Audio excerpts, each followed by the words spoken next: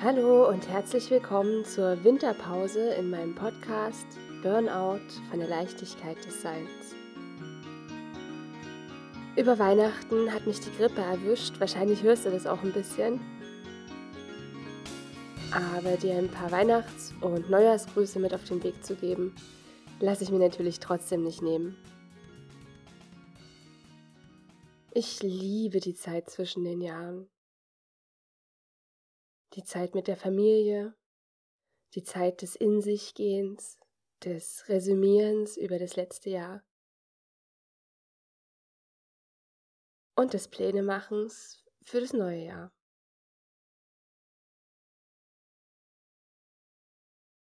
Eine Übergangszeit. Und dafür habe ich dir heute einen Ausschnitt mitgebracht aus einem Gedicht, was der Autor des kleinen Prinzen geschrieben hat und welches ich dir als Neujahrsgruß mit auf den Weg geben möchte.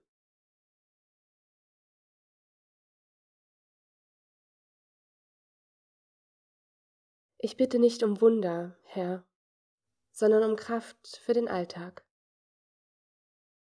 Mach mich erfinderisch, um im täglichen vielerlei das Wesentliche im Auge zu behalten.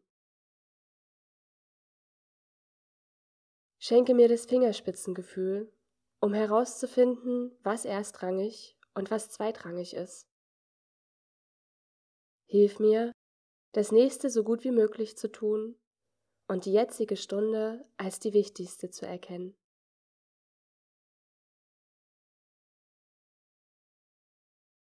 Bewahre mich vor dem naiven Glauben, es müsste im Leben alles glatt gehen.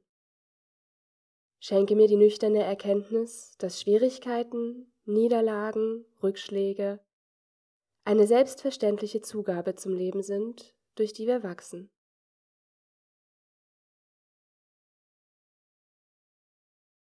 Erinnere mich daran, dass das Herz oft gegen den Verstand streikt.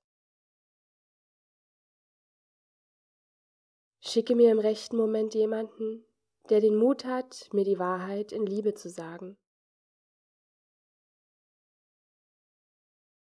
Bewahre mich vor der Angst, ich könnte das Leben versäumen. Gib mir nicht, was ich wünsche, sondern was ich brauche.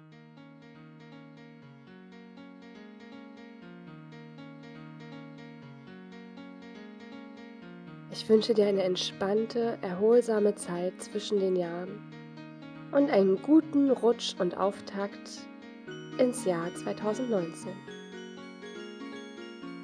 Deine Susi.